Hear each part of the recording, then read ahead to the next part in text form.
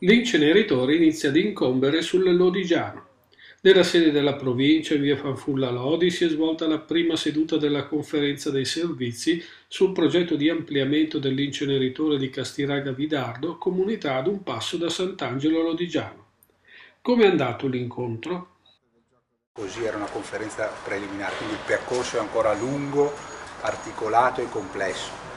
Eh, noi abbiamo dato semplicemente un messaggio molto semplice perché in questa circostanza non si poteva fare politica ed invece è quello che noi dobbiamo anche fare eh, al di fuori di, que di quella sede o lo faremo anche in quella sede quando ci sarà il momento della valutazione dell'impatto ambientale, quindi si entrerà eventualmente in altra circostanza. Quella di oggi doveva decidere di chi era la pertinenza e la competenza. Eh, quello che abbiamo bisogno e che noi abbiamo, abbiamo detto innanzitutto è quello di avere comunque un sostegno e quindi il vostro è una presenza gradita quest'oggi perché ha bisogno di un sostegno anche di, di, comunità perché la politica ha bisogno poi dopo per poter prendere alcune strade di avere un sostegno e una condivisione. C'era una presenza significativa degli amministratori, eh, quindi di rappresentanza territoriale che è stata nel silenzio della presenza un aspetto molto importante e significativo per gli interlocutori i proponenti non erano presenti con la rappresentanza legale ma semplicemente con parte tecnica e parte eh, giuridica che, che, dovevano stare in, eh, dentro il quadro amministrativo. Noi in, in premessa della, della riunione abbiamo fatto presente semplicemente una cosa, ritirate questa iniziativa.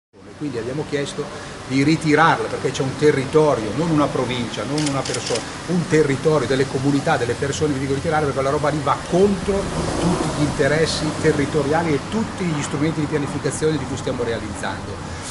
E questa richiesta è stata fatta come ultimo appello, siccome nei giorni scorsi anche su mezzo stampa si, si sono detti disponibili a eh, interloquire, ad aprire un dialogo, ecco il dialogo si apre se loro ritirano questo tipo di progetto. Allora la, la postura, il modo con cui noi interloquiremo anche con voi cambierà e soprattutto si evincerà, come dire, la faccia vera di questa iniziativa, che è un'iniziativa che niente ha a che fare con gli interessi territoriali, niente a che fare con la nostra comunità, ma che è a vantaggio esclusivo di alcuni che eh, legittimamente dal loro punto di vista perseguono la profittevolità e l'interesse particolare.